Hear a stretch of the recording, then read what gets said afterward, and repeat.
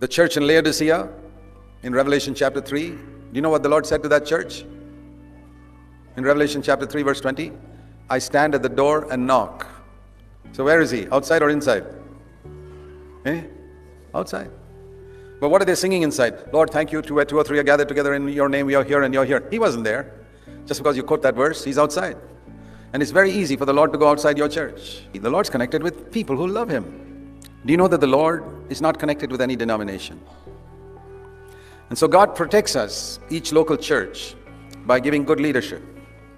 You know, the church in Ephesus was a wonderful church as long as Paul was there. When Paul was there, they did not leave their first love. They really loved the Lord. The wolves were outside. He told them, He said, I know what's going to happen when I leave. This church is going to go to the dogs because I know that none of you elders, I've observed you fellas for three years, none of you have the ability to keep those wolves outside.